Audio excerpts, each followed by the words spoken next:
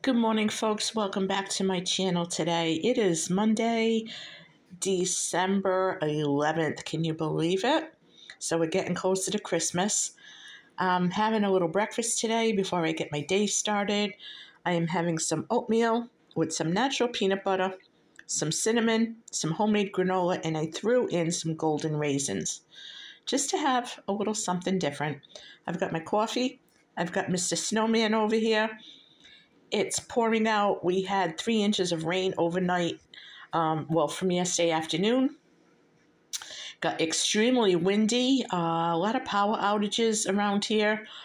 Um, I didn't lose power, so I'm glad.